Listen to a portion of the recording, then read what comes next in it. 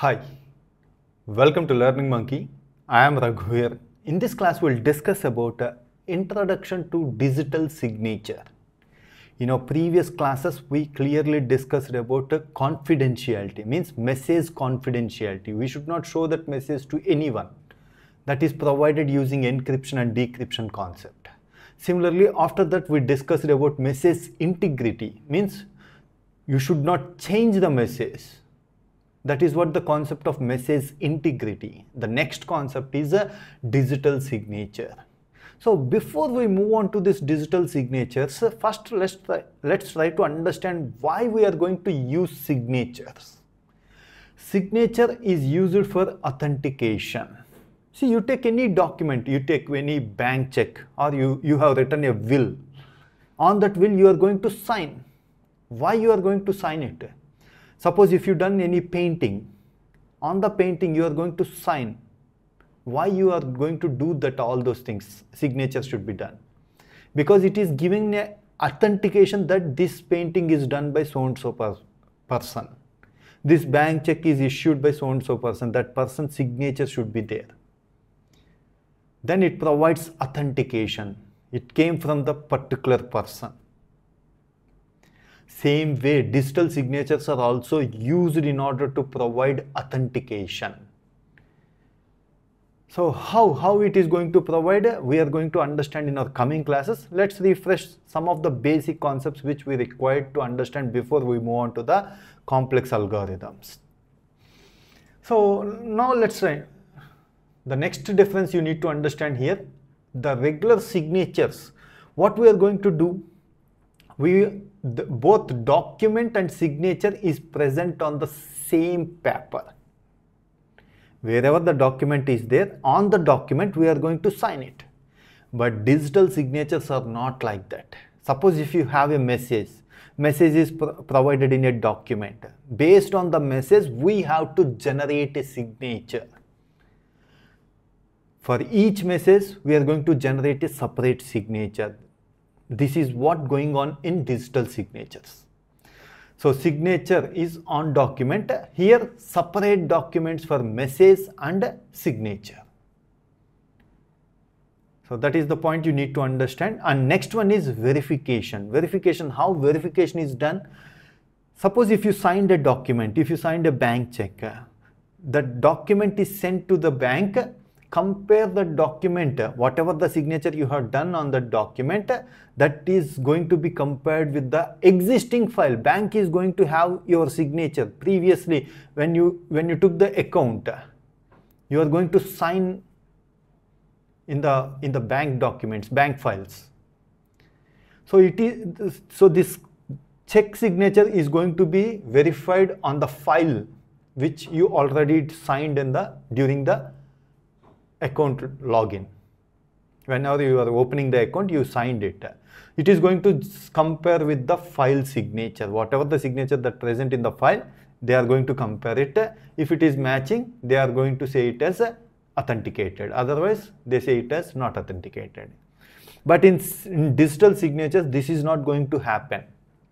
In digital signatures, you should have a separate signing algorithm means signature algorithm during the sender side and the verification algorithm should be there during the receiver side.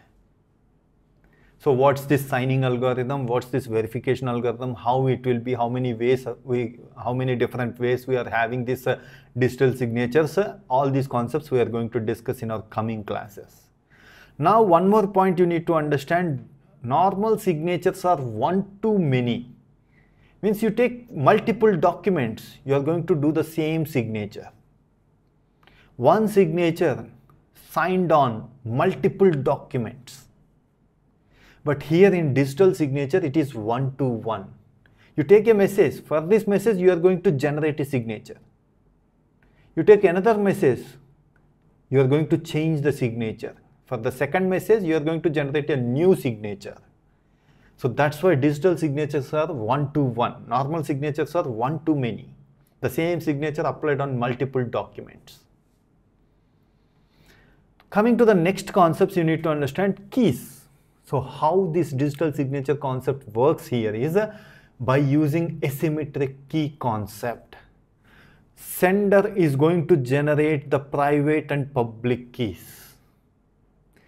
During the message integrity, we discussed that receiver is going to generate the private and public keys.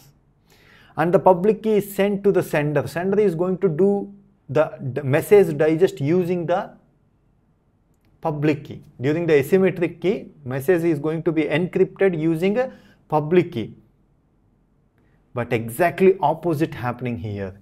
During the message signature, digital signature, sender is going to generate the private and public keys. And he is going to sign using the private key. And the public key is given to the receiver. How many re receivers are there? The same public key is used for the receiver side. So the receiver is going to verify with the public key you sign the messages using private key and the verifiers are going to check it using public keys. This is what happens inside in our digital signature. And the, one of the point you need to understand here, whenever we discussed about asymmetric key, this, pub, this public and private keys, there we have discussed that uh, this asymmetric key concept is not good for long messages because we are doing exponential operations and all those things if you are having a long message computationally it is very costly. But think about it uh, digital signatures our our documents are very very lengthy. Long messages will be there because suppose you if you if you take a will how many words you are going to have in the will? It is very long message on that message you have to sign. You have to do you have to apply the private key. So that's why there is a separate concept called why not why you are going to sign it on a message? Don't do that. Sign it on a message digest. Because the document are for, for a given message we are going to generate a message digest. On that message digest that message digest is of length 512 bits on that message digest, sign it. Apply the signature algorithm. Both are same, both are providing the same confidentiality. Because message digest is very, very unique. For the, for the given message, we are going to generate a message digest. This digest is, we are going to get for the for only this message. For remaining message, digest is going to change. That's why sign on the digest. That is what signing the digest. So these are the basic things you need to understand uh, before we move on to the RSA algorithm on digital signature. And in our next class, we are going to understand some of the basic concepts on digital signature. After that, we move on to the actual algorithms. Hope you understand this. If you have any questions regarding the concept, please post your questions in the comment section below. Thanks for watching. If you haven't subscribe to our channel. Please subscribe to our channel and press bell icon for the latest updates. Thank you